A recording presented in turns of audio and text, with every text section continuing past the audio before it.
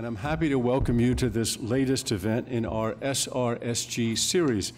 Uh, our featured guest today is Karin Landgren, who has just completed 18 busy months of service as the Special Representative of the Secretary General and head of the UN office in Burundi, and is this month taking up her new post representing the Secretary General and heading up the UN mission in Liberia. The SRSG series is a particular favorite of mine at IPI because it gives us here in New York a chance to hear directly from those in the field. And for an old newspaper foreign correspondent like me, there is nothing better than that. In fact, in my years at the New York Times, I was on two ends of that equation, both as the foreign editor, directing the people in the field from New York, and as a foreign correspondent, a person in the field taking directions from the foreign editor in New York. Now, whether it's the New York Times, the United Nations, or any other international organization, things look different seen from the ground than they do seen from a remote headquarters. And the aim of this series is to add clarity to that communication. We will be talking about Burundi today, but I wanted to note that IPI had Karin's predecessor as SRS chief for Liberia, Ellen Margrethe Løj, here twice during her tenure. And let me extend an invitation right now to you, Karin, to come speak here again on one of your future trips back to New York from Monrovia. Uh, and just to complete that circle, we had the person succeeding Karen in Burundi, Parfait Onanga, um, here last Monday for a private ambassadorial dinner we hosted for Jan Eliasson, the new Deputy Secretary General. At that time, I invited Parfait to come today, uh, but he had to decline because he had to be in Addis Ababa today for the meeting of the African Union. Burundi on July 1st celebrated 50 years of independence, though it has been a very difficult half century for the country. Just a decade ago, Burundi was a conflict ravaged country, but today it's moving towards new elections scheduled in 2015, and much of the UN's work has been devoted to encouraging and assisting the normalization of relations between all political parties and groups in anticipation of that vote. Burundi is also a focal point for peace building and development strategies and for efforts to ensure human rights and free exercise of political expression, and for steps to advance public financial management and the creation of a judicial system, and finally, of a legal and institutional framework for fighting corruption. Though free of the wide scale violence it has known, it is now grappling with a spate of extrajudicial killings. You have Karin's full biography in your papers, and you can see the wealth of experience she has had working for the UN in a number of places, including Bosnia Herzegovina, Eritrea, Singapore, India, the Philippines, and in Nepal, where prior to taking up the assignment in Burundi, she was the representative of the Secretary General. I met Karen here in, at IPI in May when she attended an event we had on the publication of a book on Nepal. And as I have indicated, I hope to see her back here in the year to come to talk about her new post in Liberia. But today, our subject is Burundi, and I'm delighted to turn the floor over to the person who has been directing the UN activities there for the past year and a half. Karin, the floor is yours. Thank you very much, Warren, you and your colleagues, for giving me this opportunity to talk about Burundi. Actually, there are not that many opportunities created to talk about Burundi. and when Warren first invited me to speak, he said, uh, which was two months ago, he said, We'll be happy to have you come and talk about Liberia. And I said, Before you do that, you have to hear me talk about uh, Burundi. Also, delighted to see so many. Uh, old colleagues in the audience, a permanent representative of Burundi to the UN, Hermes Niyonzima. Uh, lovely to, uh, to have you here because this is a country that unfortunately hardly shows up on the international radar. Uh, it's a very interesting contrast to Rwanda in that regard. Now, Burundi has the opportunity to be an extraordinary success, and whether it is or not may be determined in the next three years. So this is a place to watch, and this is the time to watch it. 2012 is and will continue to be a big year. As Warren mentioned, uh, two weeks ago, Burundi celebrated its 50th anniversary of, of independence. And for Burundi's diplomatic partners, there was particular interest in what President Nkurunziza had to say uh, on that day, because the 50th has been heralded as a new beginning, a fresh opening to reconciliation and national unity. Am I speaking close enough to the mic? Can, can you hear it, Karen, okay? Okay, thanks. Uh, thanks. There are other reasons why 2012 is also a pivotal year. It's uh, the year when transitional justice processes are expected to begin in Burundi. It's a year when uh, discussion of constitutional revision is likely to start. It's a year when members of the National Independent Electoral Commission are to be selected, and this is the team that will uh, see the task through to the next elections in 2015. We are now, in any case, at the midpoint for elections. Uh, at a time when the opposition say they want to be back in for the next elections, this is when this is expected to happen as well. And late October this year, there'll be an international partner conference on and for Burundi in Geneva, another opportunity for uh, partners to contribute and for Burundi to set out its record of achievements, which are considerable. The UN mission's current mandate runs until February 2013. Uh, Burundi transitioned very successfully from a peacekeeping mission early on, 2007, to a special political mission, and then uh, 2010, 2011 to a smaller special political mission. This phase is generally seen as the last one of intensified political support before Burundi goes back to having a regular UN country team. So again, we're confident that Burundi will make this phase, duration not yet determined, uh, also into a, a success. I want to focus on two uh, critical issues that are part of the mission's mandate, uh, also part of creating a, a, stable and democratic Burundi, and those are the question of political space and transitional justice. Um, by the way, I should say that the mission has a very good mandate. I'm pleased to be able to say that. Not every mission can say that. It's a clear mandate, it encompasses most relevant issues, and it already anticipates transition. Midway through 2012, Burundi is relatively uh, stable in security terms. But there are uh, questions that remain about the commitment to democracy and about its readiness to deal with the past. Burundi's progress, as I mentioned, has been quite remarkable. There have been two successful elections since 2005, but it's been uneven, and Burundi is still a fragile state, regarded as such by the World Bank and others. Having said that Burundi is uh, relatively stable in security terms, it's quite ironic that most of Burundi's negative press lately has been over security. Uh, for a long time, every Reuters report on Burundi that I would read uh, would would throw in the specter of rebellion, normally in the lead. Uh, whatever the story was, it was. And by the way, rebellion is just around the corner. Uh, there was a particularly bad week in the middle of August where The Economist headlined an article on Burundi, "A Sour Mood," and the subtext was "Rebellion beckons again." And in the same week, most unfortunately, ICG issued their latest report called A Crisis of, of Corruption, where they also talked about the threat of armed violence in the next five years. I think this is probably overstated. And when we look to uh, things that, uh, that merit addressing in Burundi for future stability, I'm not going to look immediately at the security, direct security issues.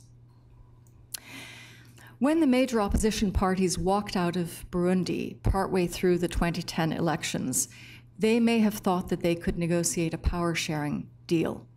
But there was no international support for that. It didn't happen. Several leaders then left the country, but not all. The result in subsequent rounds was that President Nkurunziza was elected with uh, over 90% of the vote. The ruling party having secured 64% in the first round, which included all the, all the parties. The National Assembly uh, currently has 80, 81% of its members from, uh, from the ruling uh, party. The UPRONA party is really the only party that has some leverage, but it's not opposition. It is in the government. There is no parliamentary opposition in Burundi. Since the elections and through 2011, we experienced attacks on police stations, at roadblocks, uh, checkpoints, members of the intelligence services, and there is no doubt uh, that some parties attempted or flirted with rebellion, a return to rebellion. This is this also comes across through the uh, Committee of Experts report on uh, DRC sanctions. Uh, they now all seem to have walked away from any such thinking. It's hard to know for sure. But what is clear is that rebellion is unlikely to succeed under current conditions. Uh, for most Burundians, the spark is just not there. The issues that could launch a rebellion are no longer there. As they say in French, pas de déclic. Uh, nothing is going to set this off again now. There is little ideological basis for the opposition, uh, little vision or programs to distinguish them. It's really mostly about uh, the personal, it's about access to influence and especially about access to resources. It's generally acknowledged that Burundi's opposition made a grave political error in withdrawing from the 2010 elections. And some of them will also acknowledge that privately. They are, we think, trying to wind their way back from that now. That's a good thing, that's an important move. For a couple of years, analysts, including ICG, have uh, talked with concern about what they see as an authoritarian drift, quote unquote, in Burundi, uh, and the risk of a one party state. I'm quoting them. But here, I think we have to say that the opposition, as well, by staying away, from the elections by contemplating rebellion in some cases have also contributed to damaging the prospects for pluralism in Burundi. However, it's also true that the country's enhanced security now follows uh, 2011, where we saw uh, intimidation of political parties and a number of extrajudicial killings. Uh, the UN mission documented 61 extrajudicial killings in Burundi in 2011. They were not all manifestly political, and they were certainly not the sum total of extrajudicial killings in Burundi that year. These are the cases we documented to the satisfaction of, of the UN. Um, so the likelihood is that the number was higher, and they were mainly in the second half of, uh, of the year. Impunity is a continuing issue, a continuing problem. About this time last year, President Nkurunziza made a public call to the leaders of the opposition to come back, which was welcomed. But for the rest of the year, the message, I think it has to be said, was somewhat ambiguous. We had the upsurge in killings and intimidation. We had in January this year the arrest of one of the leaders of the opposition, Alexis Sinduhije, in uh, Tanzania. He was held for about uh, two weeks. So the message to come back was attenuated, The mission continues to work largely behind the scenes on political dialogue. And uh, in recent months, we're encouraged that the government, while rejecting the idea of any negotiations, has shown itself open to discussing uh, conditions for return.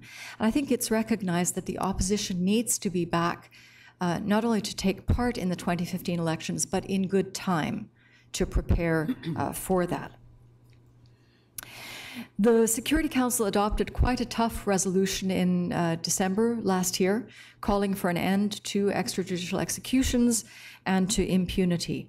What we've seen this year is that the killings have come down, and uh, the UN has, to the end of June, documented 13 uh, so far this year. What is at least as important as having uh, opposition leaders back in the country is making sure that political parties in country have the space to operate, uh, you know, at a much more quotidian level. And here we have some concerns about shrink, the shrinking of political space, that parties, especially outside the capital, have difficulties even convening regular meetings. And uh, this is uh, coupled with continuing periodic harassment of civil society and of the media. Uh, and I say more about these issues in my council briefing, which you can look at online. It is clear that any continued reduction of political space uh, any difficulties put in the path of opposition leaders who want to return will tend to undermine the 2015 elections, the prospects for uh, democracy in Burundi, and risk undermining Burundi's image, or to put it differently, risk reinforcing the image of Burundi as a weak and insecure state, which in turn is going to hamper efforts to bring in the foreign investment which Burundi so badly needs. I'll come back later to some of the development issues uh, in Burundi. President Nkurunziza pledged at his 2010 swearing in to provide political space for all uh, parties. And from the UN's perspective, the ruling party has every reason to approach this with confidence. I've already talked about the numbers with which uh, they were elected. Uh, the president appears genuinely very popular. He's always out among the people and in the countryside.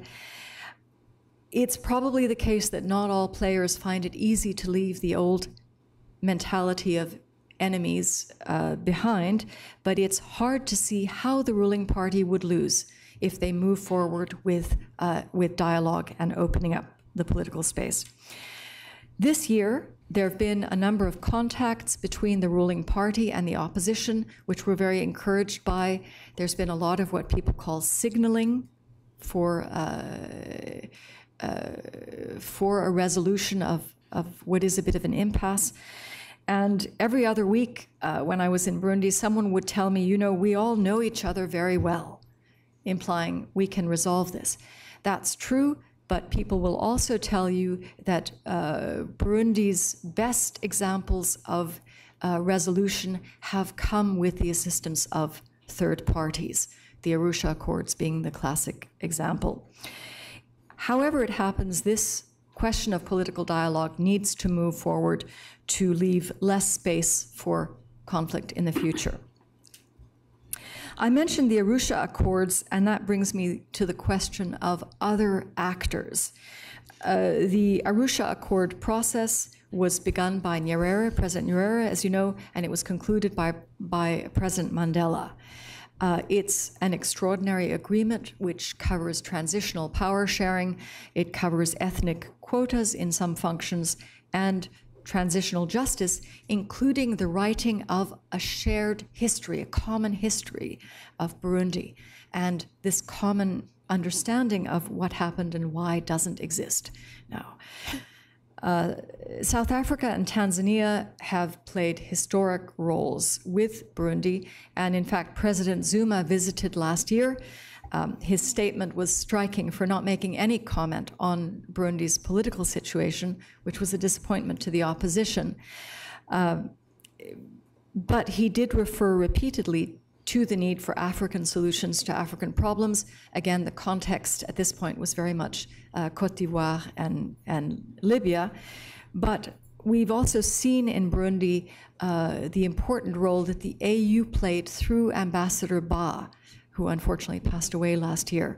So I think it could be beneficial as well to see a reinvigorated uh, regional role in supporting Burundi's uh, transition. I wanted to turn to another uh, important element of the UN mandate, which is supporting Burundi in transitional justice. This is a critical part of the Arusha Peace Accord. Not all the rebel groups were included in that accord, and uh, two of the most important, the FDD and the then Palipehutu FNL, concluded separate peace agreements later in 2003 and 2006. The last named only fully took hold in 2008. But those agreements provided for provisional immunity for uh, all parties to the conflict until a TRC, a Truth and Reconciliation Commission, was in place. Few parties haven't been accused of some involvement in uh, the bloody ethnic crimes uh, in Burundi's past. The UN has been discussing transitional justice with Burundi since 2006.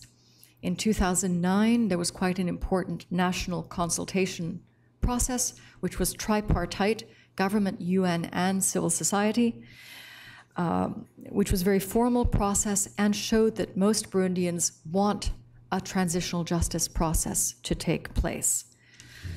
However, the president said very little about these issues at the 50th, uh, to, our, to our disappointment. And one might conclude that transitional justice has seen a slowdown. After great enthusiasm last year, we hope uh, there hasn't been a reversal. A technical committee submitted a report and draft legislation and even a budget in October last year. That seems to have been put on, on ice ever since we think there's an eagerness there to close out this chapter of obligations under Arusha, but it has to be more than a box ticking exercise. The UN gave extensive comments on the draft legislation, uh, but what is also emerging in private conversations is that many people are very worried about where a transitional discussion, justice discussion could lead. They're worried about the facts that would come out, about the fingers that would be uh, would be pointed. And uh, what one person said to me was, the political situation still needs to be more serene before we embark on transitional justice. Increasingly, the official discourse uh, we now hear insists that reconciliation has already been attained. So, subtext, maybe we don't need this after all. And I think uh, reading the tea leaves, the risk is that the emphasis is going to be much more on pardon than on the truth bit, let alone the justice uh, bit. So the question is whether this is going to contribute to genuine reconciliation, uh, which also needs to involve Burundians reconciling with their own history. The UN invested very heavily in accompanying last year's transitional justice planning efforts. Um, we want to see a proper process put in place. The government uh, body, the technical committee, estimated that it would cost about 12 million US dollars to go through uh, transitional justice process. But if there is a decision to implement something that falls uh, far short of international standards, I think it's pretty clear that the UN is going to be unlikely to provide uh, the support that will be needed. I've focused on these two fundamental challenges, but uh, I want to say a word about the backdrop. There are huge long term threats to Burundi. Uh, this is, depending on how you count, it's the world's third poorest or the world's fifth poorest country. Uh, it has a severe overpopulation issue. It has a land shortage. Uh, either way, this is a time bomb. In uh, two provinces, to take one example, Cankuzo and Ruyigi, there is 70% uh, undernutrition. 70% of children are undernourished, and their developmental indicators are six months behind, meaning those children walk six months late on average. And that, as you can imagine, gets compounded over the, the years that follow. The population is over 90% agriculture develop, uh, dependent. You can imagine the, the risks to that of climate change. This year already, there's been a series of price shocks, which has given an indication of the potential for social instability. Uh, there is acknowledged massive corruption, and although the government has put uh, a number of important measures in place, which has uh, improved Burundi's standing in doing business. For example, uh, some of the attempts to address corruption have run into significant resistance from within uh, the government. So uh, reformers have an uphill task, and this is also an area where the international community's support is needed. Burundi had a remarkably quick integration of the rebel forces into its army, and I feel that this has been insufficiently publicized internationally. It is an extraordinary uh, example. They like to say they had two difficult weeks at the beginning, but then it uh, it worked out. But some analysts will say that a lot of work still needs to be done to get parties away from the notion that they still need their own army, that no one will really listen to you unless you have uh, arms backing your, your position. Um, I want to end by underlining what was probably evident from Reuters and The Economist, but uh, is also clear if we listen to international experts as a whole on Burundi, and that is that there is not a complete consensus in the international community about the outlook for Burundi. Um, the glass is half empty or half full. Uh, what is going to be very important is that the international community as a whole encourage Burundi to pursue uh, the reforms, to pursue the reconciliation um, that are vital and not to abandon the country on the basis that it's gotten through its bad times, so it no longer needs us as much as it did. That would be the wrong thing to do at this point. Thank you. Hmm. Karin, could I just ask you a couple of questions? Um, that your presentation touched almost all the points that I had made notes, but there were a couple here I wanted to ask you about. One is um, there is, um, as I understand it, a, a refugee uh, threat, refugees coming back from Tanzania to Burundi. Can you talk about that? Sure. I mean, one reason one reason we see the importance of Tanzania's role uh, in supporting Burundi is not only that it's a member of the EAC, but if Burundi goes through a severe disruption again, Tanzania is going to uh, be the hardest hit. Uh, Burundi has reabsorbed hundreds of thousands of refugees already, and Tanzania has naturalized, I think it's 170,000, if I'm not mistaken, an extraordinary act of generosity on, on Tanzania's part. Now, the last tranche, if we can put it that way, of about 35,000 refugees are to return this year.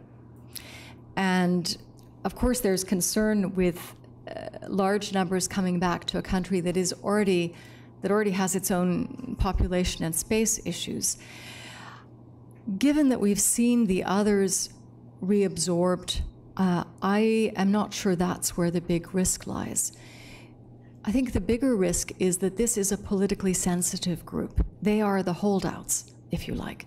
So there's going to be a lot of interest in seeing how they come back and what they do.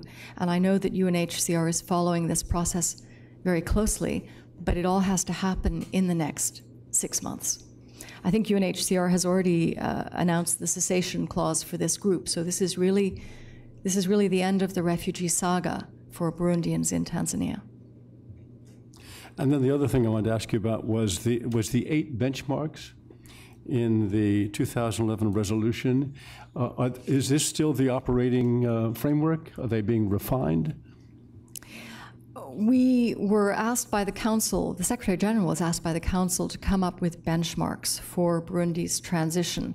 And we've had a really good process in Burundi and with the government to say these are the eight issues that link to the mandate and uh, which we can look at to assess how much progress there's there's been. Now, some of them are on issues that will remain issues long after the political mission has gone. But that's also, I think, a useful thing to continue the monitoring of, of uh, those issues. The reality is that on many of these issues, there aren't even baselines. So, uh, what we expect to do is by the next SG report to the Council, which will be next January, to come back with baselines on some or all of these issues, and then look seriously at what that means for transition. Which of these issues are, say, naturals for passing over to the UN country team? Uh, which, for which issues is it important to have a continued UN political presence and so on? So that's for early 2013. Excellent. Um, I'd love to take some questions, comments. Just raise your hand. Um, and let me tell you, uh, I'm going to recognize the gentleman in the back, and then this gentleman here. We'll take two at once. Is there a third question? Uh, of course, Jeffrey Laurenti. The third question, we'll take one, two, three. Uh, when the microphone gets you, please hold it steady because we are webcasting this, and the only way the sound remains steady is if you do not gesticulate with the hand that's holding the microphone. Uh, hold it steady, hold it close to your mouth, and please identify yourself. The gentleman in the back. Thank you very much. Uh, I'm Sanai Terefe from UNHCR, and uh, I'd like to uh, thank the SRSG for this uh, very detailed uh, presentation. Uh, perhaps just a nuance on the declaration of cessation for Burundian refugees. as of yet, UNHCR has not declared a cessation clause for Burundian refugees. However, it is true that a determination process has taken place in Tanzania which is an individual um, review, if you like, of the, uh, of the claims of the individuals that remain. But um, that falls short of a collective declaration of cessation, as we have seen, for instance, for Liberian refugees. Mm -hmm. So that's the, the first nuance. Um, the second is a question in relation to Burundi, and, and uh, as the SRSG has pointed out, the land uh, issue, which I think is core to, um, to the peace building process in the country. And the question I would have is in terms of the land laws of Burundi and how close we are to a comprehensive land reform in the country, in particular uh, uh, to do with title and deed uh, appropriation, because I think all uh, observers of the Burundian situation would agree that this is a core uh, uh, protection issue and a core peace building issue. So mm-hmm. if, if, uh, if I can rest it there. Thank you very much. You know, I was going to let you answer all three at once, but since that was two, answer those first, and then we'll get to the other two. Thanks very much for that important correction on the on the cessation clause. Uh, on the, uh, I should also add that Burundi still has IDPs. Uh, Burundi has, I think, close to 80,000 people still living in settlements uh, who feel they have not been able to return home. So that's also still to be resolved. The land question is uh, quite volatile. You know, there is a body in place, the CNTB, looking at land claims resulting from returns. And uh, they have handled a large number of cases, but many of their findings have been contested. And we've seen the potential for land issues to flare up. Uh, the new Code foncière, I think, goes some way to resolving those issues, but there are many other unresolved issues, including inheritance rights. You know, there's been a push to uh, allow uh, women and girls to inherit, which isn't currently the case. And some of the pushback on that is from the perspective that allowing women to inherit as well would just make it completely untenable. I think it's probably pretty close to untenable as it is. So uh, all these issues need to be uh, need to be looked at over the next little while. The government has an initiative called Villagisation, which is which also has the intention of grouping uh, people in more urban centers. Burundi currently doesn't really have urban centers to speak of. There's the capital, and then, there's Gitega at a distant second, and that's about it. But the thinking is, if people could uh, could move to urban centers where services would be provided and alternative employment would also be available. I mean, to try and wean some of that 90 odd, I think 93% off agriculture as, as their sole uh, subsistence method, then that would decongest the land as well. Thank you. Here. Thank you, Karin. My name is Eloho Otobo. I'm the director from the Peace Building Support Office. I want you to develop your thought on an area that you did not uh, go very much in depth with, the economic side. How much of Burundi's inherent fragility is a threat to peace building effort compared to the details that you provided on the political side? And secondly, insofar as the donor support is concerned, how much commitment do you see donors putting forward in terms of supporting the ongoing efforts at peace building? Thank you. Again, since it was two questions, we'll answer that, and then we'll get to Jeffrey Laurenti. Can I just clarify the second question? It was about donor support. Donor support. How much donor support do you see coming forward, and how much of that lack of lack of it is linked to progress or none of it? Mm-hmm. Uh, mm-hmm. I think at some point it's a very thin line between the political and the economic development questions.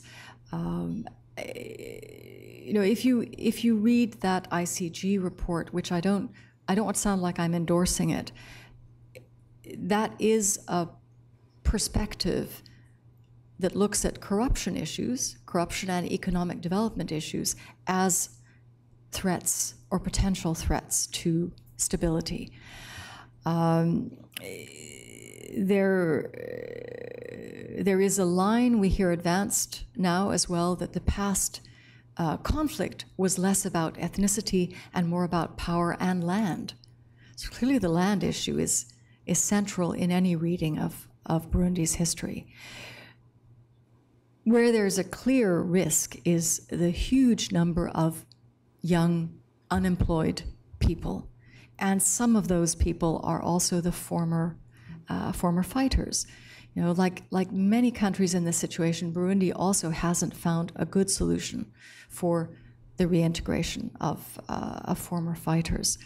There is a government program, but it's, it, as, as PBSO knows, it's been partly funded, but far from fully funded. I asked the second vice president what the solution was to uh, this unemployment crisis, and he said large scale public works. I think that's right. I think that's right, but I don't see large scale public works coming from anywhere at this point. And this is where donors uh, come in. Burundi has become a donor orphan. Uh, this year, I'm sorry to say, DFID has pulled out. With DFID has gone Swedish SIDA. And among some of the donors, there is a decision to no longer give support in the form of direct budget support, but to fund uh, programs instead. So, one of the shocks I mentioned that the government has been facing this year is shortage of external funding for a budget that is still 50% donor dependent. And when donors looked at the uh, uh, the new PRSP, which was just adopted in February, they saw that the um, the anticip- anticipated donor support in the future, the line went up rather than down. They said that's not how we see it going. So there's a constant effort to try and invigorate the donor community, but also to give stronger assurances that the money is going to be well spent. I already alluded to the corruption issue, and I think that is uh, clearly a factor in, uh, in making some donors reluctant to invest larger sums in Burundi than they do. Thank you. Jeff? Uh, thank you, Warren. Uh, Jeff Laurenti with the Century Foundation. actually, this question comes very nicely on, on the last one. You had begun, uh, uh, Ms. Landgren, by talking about there not being very many opportunities to talk about Burundi outside of Burundi. I mean, it's a classic example of the kind of post-conflict situation about which there's fear of disappearing from the radar screen as soon as the peacekeepers go home. The, uh, the situation that led to the creation seven years ago of the Peace Building Commission, this New York peace building architecture. Uh, and the performance of that architecture is the subject, as you well know, of last Thursday's open debate in the Security Council. So I, I know this is a New Yorky kind of question, but what's been your experience in the field of the grinding out of this machinery, so called, in New York that may grind with no, no grain to be milled? um, uh, is it just another layer of New York reporting? Is there actually another advocate that you can turn to? The relations between the configuration com- uh, committee chair and the SRSG uh, would be worth actually, might be interesting to, to hear a bit about. Uh, and has this in any way allowed for a few million more dollars to be pried out of either multilateral, bilateral donors or the Peace Building Fund? What's been the value added, if any, for Burundi of this pioneering effort to create a conscious peace building architecture? Should I take more than one, or? Uh, No, no, that's, actually, I wanted to ask you about peace building, so I'm glad that Jeff brought it up, because I know Burundi is a Okay, well, case I- of that. I can take that immediately then. Uh, We've had very good relations with, with the PBC in Burundi. Uh, But Burundi was one of the first two countries to come onto the peace building agenda, as you know. Last year, late last year, Burundi suggested that now was the time to come off. And that hasn't happened, and that has, I think, provoked uh, a harder look at what's the value added to a country that has already spent five, six years on. Now, that coincided with the suggestion that Burundi could come off, also coincided with the end of PBF funding to Burundi. Burundi had benefited significantly from two tranches of, uh, of uh, PBF funding, which, as you know, is triggered automatically when a country comes onto the, onto the PBC agenda. So, with that gone, I think there was a bit of sense of, well, what else can the can the PBC do for us? The government's been very clear about what it expects from the PBC, and that is resource mobilization.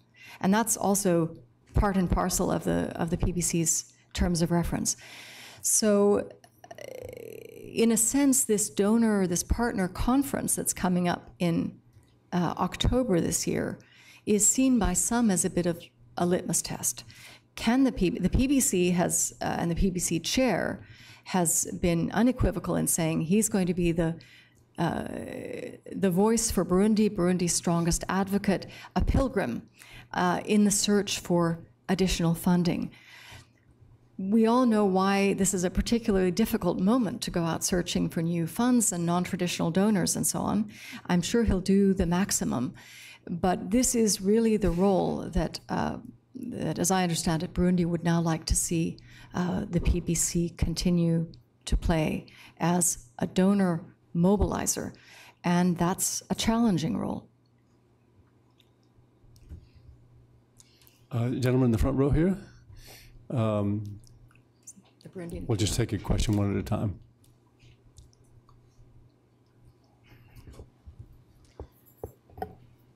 My name is uh, Working? my name is uh, Niyonzima. I'm the PR of Burundi to the United Nations. I have got uh, a language barrier as uh, I'm from uh, a French-speaking country. But uh, what I want to say here is uh, first to thank you for your presentation. You've uh, recognized the efforts of my government to put uh, Burundi back to the rails of uh, peace and security for all.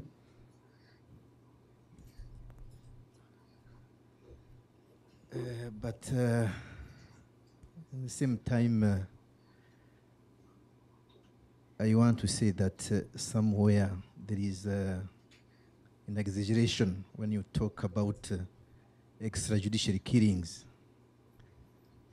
I do recognize that uh, there are some killings in the country unavoidable as we are in the situation of uh, post-conflict situation. But uh, saying that uh, you've identified 61 cases of extrajudicial killings, uh, I think that there is uh, some exaggeration because, and some misuse of the term of extrajudicial killings. Because even if it's a policeman who kills, it's just a murder. It's not an extrajudicial killings. Because an extrajudicial killing means that the victim was already in detention, in prison, and instead of uh, sending him to justice, he has disappeared, he has been killed. So, uh, 61 uh, extrajudicial killings. Uh, we are elected people, we are not a group of criminals. Uh, that's uh, what I wanted to say. I, I think 61 is too much. I'm going to have to ask Thank you to speak up. People are having trouble hearing you in the back. Just raise your voice more. I have finished. Okay, I'm, I'm, well, I'm, I'm sorry. I just had people in the back who were, who were signaling they weren't hearing you. Well, I just wanted to say that uh, I disagree with the, the information that uh, there have been 61 cases of extrajudicial killings. It is too much hmm, for an elected government. hmm. And I said that maybe it is a misuse of that concept because extrajudicial killings has a definition hmm? and uh, the, victim must be in detention already hmm? because even if it is a policeman who kills a citizen it is just a murder it's not an extrajudicial killings hmm? so 61 case for we are honorable people. We, we, we cannot behave like bandits. Uh, uh, it's too much, 61. Thank you very much. Thank you. Would you like to comment on that? Thanks. I, we're saying the same thing if we're saying that 61 is too many. We completely agree with that. What, what the office has done uh, as an innovation in 2011 uh, in, in Burundi is to actually prepare uh, uh, a matrix to show the date, the name, the place, the political affiliation, if known, and what happened to the best of our knowledge. And then a final column referred to uh, refers to what action has been taken. And it allows us to track these 61 cases that we've looked into. And that is one of our benchmarks. Given the, the extent to which impunity is an issue, we want to follow up each of those 61 cases to see what happens. And at this point, six and a half months into the following year, uh, we've seen follow up, I think, in only 10 cases. Uh, 10 cases have come to a conclusion in the courts. Um, we have some reservations about the slowness in, in many cases, but there is a lot to be done uh, in bringing those cases to, uh, to justice, however we label the cases. And this was also the Council's concern that uh, the investigative apparatus is very weak and ultimately very few cases do come to justice. So this is another area where more work needs to be done and supported, supported by us as well. A gentleman in the aisle here. Thank you very much. I'm actually curious about two aspects of the situation in Burundi. One hand, the regional dynamics. To what extent do you expect the instability in the Congo to adversely impact the security situation in Burundi, or do you think Burundi is pretty much sort of in its own dynamics and not really impacted too much by the current situation in DRC? The second um, part of the situation, second set of dynamics, is the change and transition in the UN mission in the country. And there have been some uh, voices of concern expressed uh, about the you know, steady rush to try to quote unquote normalize Burundi and internationalize and to transition quickly into a normal UN presence. To what extent, uh, in your time there, do you think the pace is as it should be, or do you think it should be a bit carefully evaluated to see that normalization does not come too soon? Thank you. Mm-hmm. Thank you. Uh, thanks. You know, I think the the issue with the DRC most affecting Burundi has not been what we see playing out right now as much as the tendency of some Burundian rebel groups to use the DRC, to use Eastern DRC as a base, uh, as they have also at times reportedly used uh, Tanzania as a base. So I know the government uh, made a number of efforts in 2011 to address those two uh, aspects. But it's a little separate from, uh, apart from the fact that a generally chaotic situation in DRC helps allow that to happen, and that is destabilizing to uh, to Burundi. Is the timing right? I, I feel that the timing is right. I mean, we're not. Uh, I think the pace at which we are looking at things now, meaning a review in January, February of where we stand on the baselines, and really the time it's going to take to advance on some of these issues, I see as being a matter initially in the government's uh, court to, to say what they think is a reasonable pace of uh, progression. There are a number of issues in the mandate that are really long term efforts strengthening democratic institutions, the judiciary, uh, parliament. These aren't going to be fully strengthened in the space of a year or two. These are long term uh, matters that need to be embedded in the UN country team after the mission goes. So, uh, in that respect, the work for the mission is to make sure that the country team is ready to pick them up and does pick them up. So, we have good programs in place that are continued. But I think that given uh, how we now view the risks of return to violent instability, which is relatively low, I think we're on the right track of planning for transition. Oh, good. A woman over here on the other wall.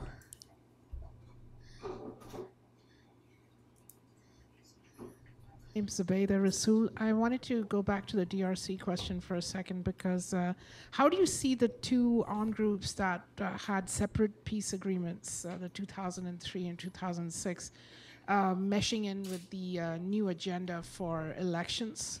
Uh, we know there have been some reports about the FNL presence in eastern DRC being strengthened. I'm just asking how is that part of the peace process going? With the other two groups that signed later peace agreements were not part of Arusha, firstly. And secondly, in specific about FNL, because their, their leader or their supposed leader uh, has made a lot of uh, noise over the last year and a half. So I'm just wondering about your reaction to that, what you see is the prospect of them actually having a positive uh, participation in the election process in 2015. Mm-hmm. Mm-hmm. Thank you. The FNL, led by Agathon Rwasa, was the largest opposition party in the elections, came out of the first round with 14% of the vote. So that's quite significant. And I sometimes get the question of what does Agathon Rwasa actually represent? And the answer for me is 14%. However, not long after they pulled out and after Rwasa himself left the country, there was a change in leadership in the FNL, uh, which he has not accepted, has not recognized. So the current role of the FNL, I think, is a question mark. the, I mentioned that a couple of events have taken place this year bringing together the uh, ruling party and the opposition. And the FNL Rwasa has not been present at those events. Uh, we're talking about one roundtable in the National Assembly, which had the participation of most of the opposition parties, and more recently, a dialogue in Co in Switzerland, uh, which again, I, I think is an excellent initiative. Again, the FNL didn't take part. Um, the FNL and Rwasa were mentioned in the DRC Group of Experts report quite specifically with detail. And I found it encouraging that Rwasa almost immediately wrote to me refuting what had been said about him and his party in that report, which I would read at the very least as an intention not to engage in those activities in future, whatever he was doing in the past. Uh, we don't know the extent to which they are still involved in rebellion, and he is extremely uncommunicative. Uh, you know, I've never met him. Uh, people who have talk of a, a rather distant, rather mystic uh, religious figure who communicates through third parties. So, honestly, quite hard to know if he would come back and if he would play a role. Uh, I don't know what contact there has been at the level of the government with, uh, with his party, but it would certainly help matters if he were to declare uh, what the intention of FNL Rwasa is for the future.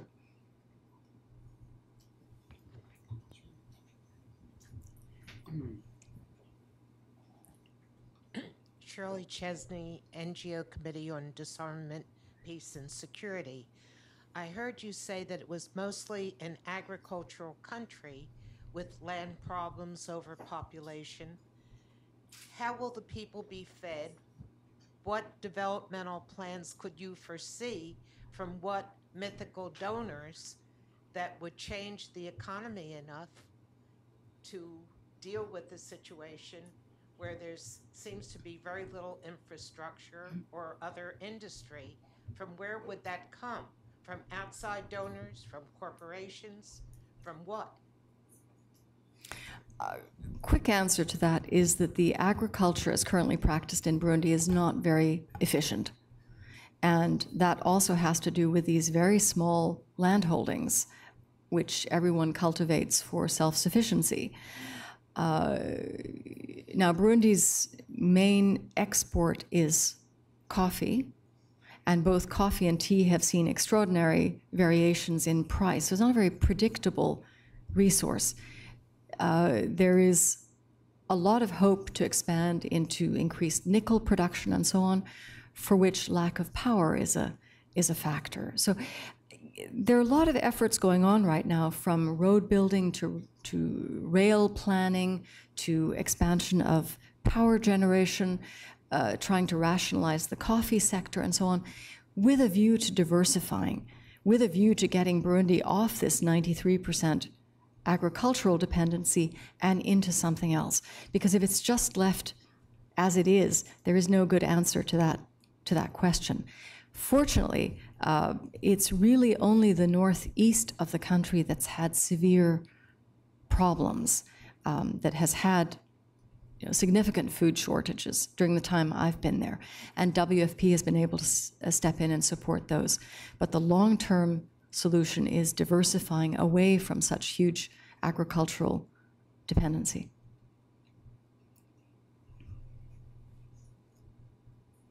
Well, um, excuse me. uh, any more hand? Well, very good. In the third row here. Um, I'm Luca Nicola from the Swiss mission. I'm ambassador, the chair of the Peace Building Configuration.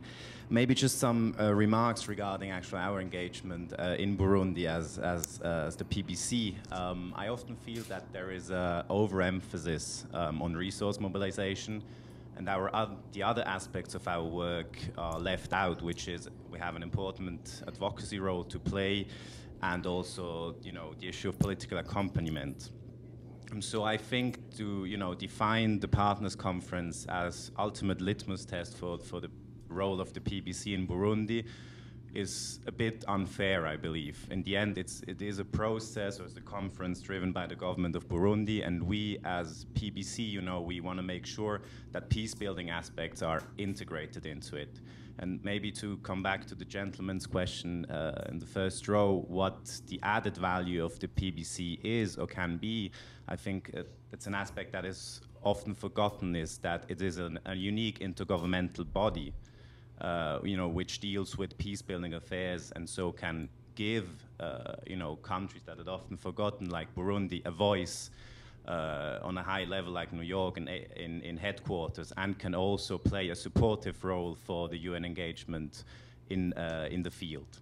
It's just a couple of remarks I wanted to make. Thank you. You want to comment? Oh, Just to say thank you, thank you for that, and certainly Burundi needs supportive partners. Uh, Very good. Well, if I see no more hands, and thanks to that last comment, we got up to date on the PBC. Um, uh, before I thank uh, Karin, there are a couple of extra minutes here, and I just want to extend an invitation to you, and I'll explain. Um, I'm going to ask Beatrice uh, to uh, lift the shades and open the door, um, because on the balcony right now, you have a view of a rather wonderful memorial that is almost completed.